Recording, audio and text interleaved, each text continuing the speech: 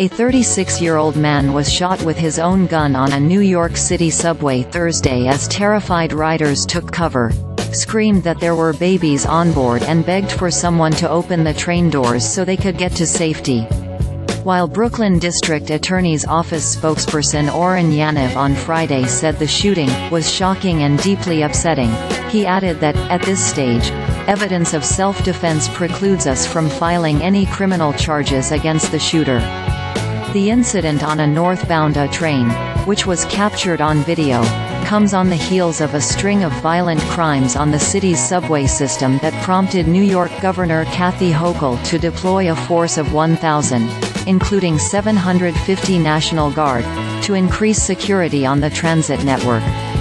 Videos posted on social media show the unidentified 36-year-old man approaching a 32-year-old passenger and getting into a verbal dispute. The footage appears to show the 36-year-old ranting and yelling and threatening to beat up the 32-year-old. The situation escalates when the 32-year-old man stands and puts his hands up, according to one video posted on X. One passenger is heard saying, There's babies on here. Several riders get up and move out of the way, the video shows.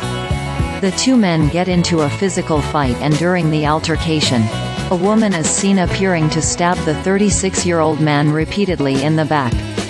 At a Friday morning news conference, police said it looked like the woman had a sharp object and cut the 36-year-old male with that sharp object. Video shows the 36-year-old man bleeding and saying, You stabbed me. The 36-year-old then walks over to his jacket and pulls out a firearm, the footage shows. Get down. All the way down. Baby, a female rider says before screaming repeatedly. Let me out. Let me out. Let me out. Let me out. Other passengers scream for the train doors to be opened. As riders flee, gunshots are heard.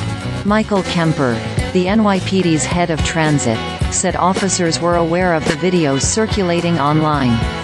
At some point, the 36-year-old man lost control of the gun and was shot by the 32-year-old multiple times as the train pulled into the Schermerhorn station, Kemper said Thursday. Eyewitnesses recorded video showing a man on a stretcher being lifted into an ambulance outside the station.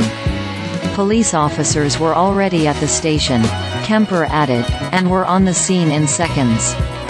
The 32-year-old man was questioned by detectives Thursday night.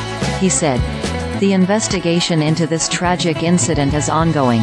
Yaniv said Friday after announcing the Brooklyn DA's office doesn't have plans to prosecute the shooter at this time.